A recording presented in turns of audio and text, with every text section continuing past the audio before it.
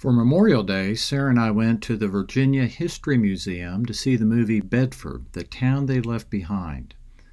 Bedford is a town of 3,000 out near Roanoke. They had the highest per capita loss of any town in America on D Day.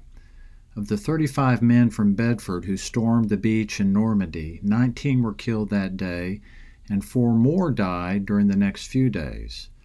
The movie featured how life in Bedford was impacted by their deaths. It was a heartbreaking story.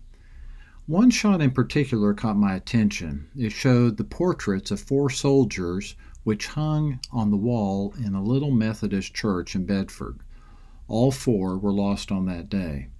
It reminded me of the plaque that hangs in the entryway of our church, rejoicing that all 110 who went to war from St. Giles came home safely. 110.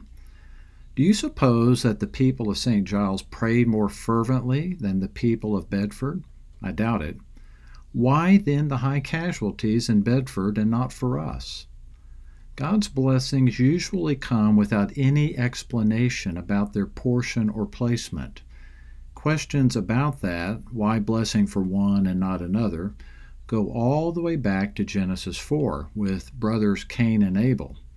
That's the first of many stories in Scripture that warn about comparing notes regarding God's blessings. So Bedford can look to God, who is always good, and often in ways that are beyond our viewing, and live in His peace. And St. Giles can look to God, who is always good, and rejoice in the gifts He has given, far beyond what we deserve. Both can look to God and His goodness.